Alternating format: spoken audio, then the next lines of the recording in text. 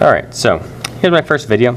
Let's go ahead and try to write a line that is parallel to a given line and goes through a specified point.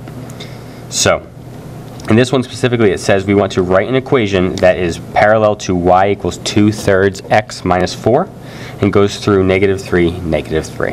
All right, so the first thing you have to do when you're dealing with parallel and perpendicular lines is if it says parallel, remember that parallel lines have the same slope. So the only thing we have to do with this starting equation is to find the slope. So its given slope is 2 over 3.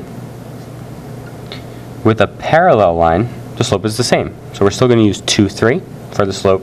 And the new point that we're going to use is negative 3, negative 3. So now you have a point and a slope. So we're going to put it into point slope form. All right, so you remember that point slope form is y minus y1, so it would be plus 3, equals our slope, 2 thirds. And then x minus x1, in this case it's negative 3, so it becomes plus 3.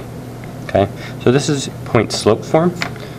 However, we want it into slope-intercept form. It doesn't say that in the directions, but whenever we're dealing with parallel and perpendicular line writing, unless it doesn't say otherwise, we want to put it into slope-intercept form, okay?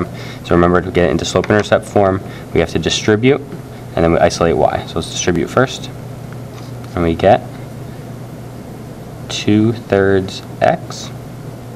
If we have 3, it's like 3 over 1, our 3's cancel out, so it becomes plus 2.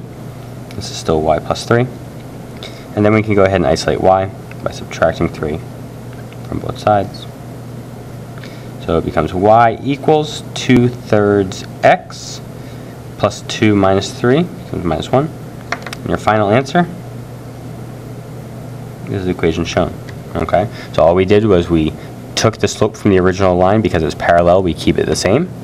And then we use our point that was given and our new slope to put it into slope-intercept form.